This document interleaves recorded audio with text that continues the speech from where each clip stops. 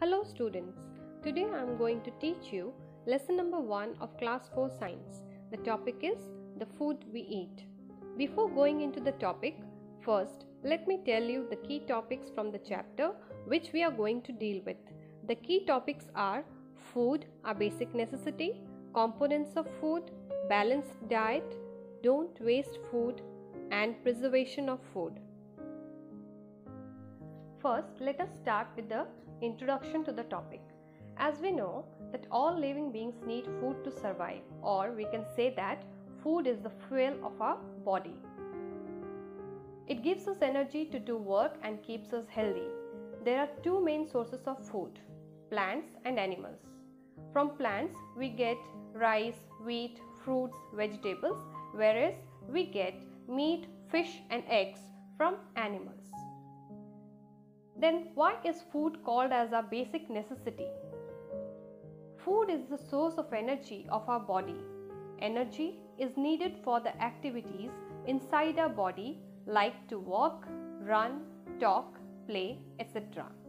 Energy is also needed to grow and to remain healthy. All living things on the earth need food to sustain life. Thus, we can say that food is a basic necessity of our life. Then let's move on to the next key topic that is components of food. What are the basic components of food then? They are carbohydrates, fats, proteins, vitamins, minerals, water and roughage. So let us now discuss one by one about the basic components of food. The first one is carbohydrates. Carbohydrates is the main source of energy for our bodies. There are two types of carbohydrates. Those are sugar and starch. Cereals, fruits, vegetables, breads, etc. contain carbohydrates in it. Our body uses these foods to make glucose, which is the main source of energy for our body. Glucose is the type of sugar that can be used right away for energy or stored away to be used later. So, carbohydrates is highly needed by the laborers, those who do physical work. The next component of food which we are going to deal with are fats. So, what are fats? Fats also give us energy just like the carbohydrates. The body uses fat as a fuel source as it is the major storage form of energy in the body. Since fats give us more energy than the carbohydrates, so it is required in lesser quantity or we can say in a moderate amount. Few examples of food items that has fats in it are butter, ghee, oil, cheese, etc. Here we need to note down one important point that is Foods rich in carbohydrates and fats are also called as energy giving food. The next component of food is proteins. Protein is essential for growth and repair of the body and maintenance of good health of the body. Proteins help our body to repair the damaged part by building new cells. It also helps in building our muscles and fighting against the infection and diseases. Since protein helps us in growing, thus small children need more amount of proteinaceous food. Thus, we can also say that food rich in protein are also called as body building food. Few examples of food items that have proteins are meat, egg, fish, etc. The next topic is vitamins and minerals. Vitamin means vital for life. Vitamins and minerals are compounds necessary for the healthy functioning of our bodies.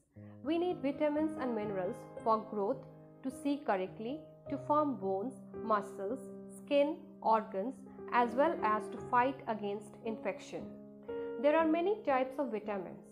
They have been given different names like they are vitamin A, vitamin B, vitamin C, vitamin D, vitamin E, and vitamin K. So, these vitamins are found in vegetables, meat, fish, eggs, and fruits like your citrus fruits, they, are, they give us vitamin C. Then there are different types of minerals also like potassium, calcium, iron, iodine, sodium, etc. Calcium is mostly required for healthy bones and teeth, whereas iron is needed for making blood. These minerals can be found in vegetables, fresh fruits, meat, fish, and milk. So, we can also say, say that foods rich in vitamins and minerals as the protective food. Let's move on to our next topic that is water and roughage. Although water is not a nutrient, but it is highly essential for the proper functioning of our body. Water helps our body to absorb nutrients from food. It also helps in throwing out some waste from the food as urine and sweat. Thus, we can say that water is needed for digestion, excretion and circulation. So, we should drink plenty of water daily to balance the loss of water. Roughage is an essential component of our food and adds to its bulk. This helps our body to get rid of undigested food. Salad, corn cob, broken wheat are rich in roughage material.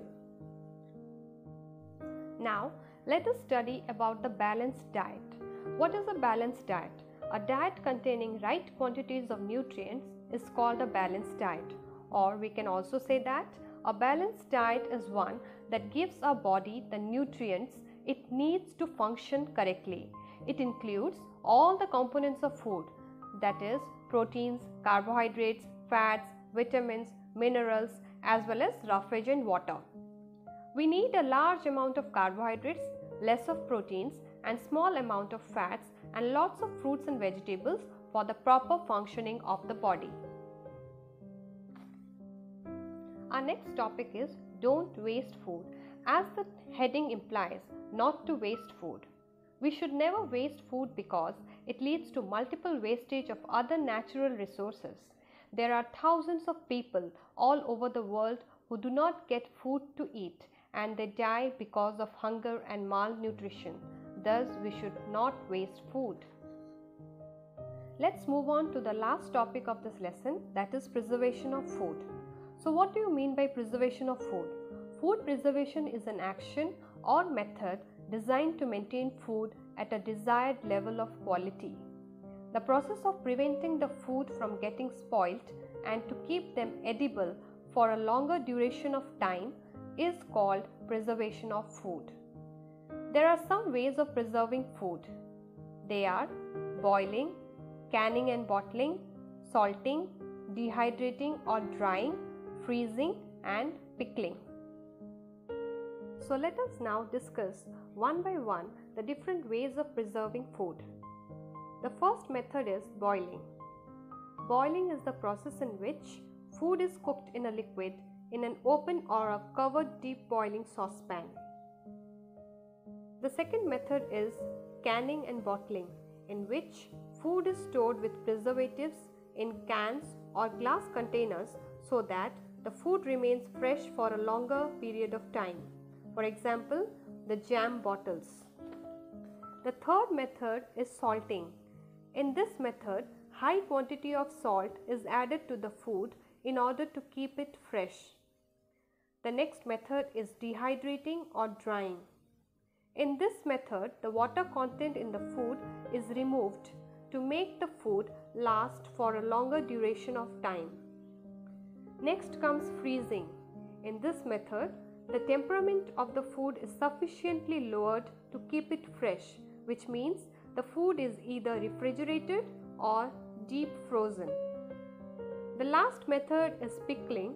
In this method, the food is preserved in oil, salt, and spices to keep it fresh for a longer period of time. For example, the different types of pickles which we get in the market.